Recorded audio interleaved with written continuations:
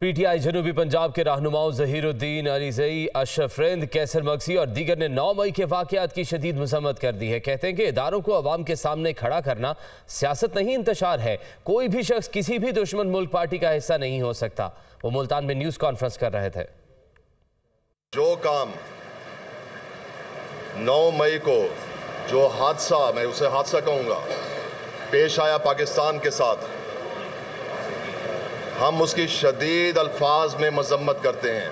ना कभी इस शर अंगेज़ी का हिस्सा हम पहले कभी थे और ना ही आगे होंगे। सबसे पहले रियासत उसके बाद सियासत। अगर हम आवाम और इदारों को हमने सामने खड़ा कर देंगे मैं समझता हूँ ये सियासत नहीं है इंतशार है। हम ये जो आठ दस लोग आपके सामने बैठे हैं ये बारिश का पहला खतरा है। हम अफवाज पाकिस्तान के साथ हैं, रियासत पाकिस्तान के साथ हैं, कोई भी शख्स जो मुल्क दुश्मन पार्टी होगी, उसका हिस्सा नहीं होगा।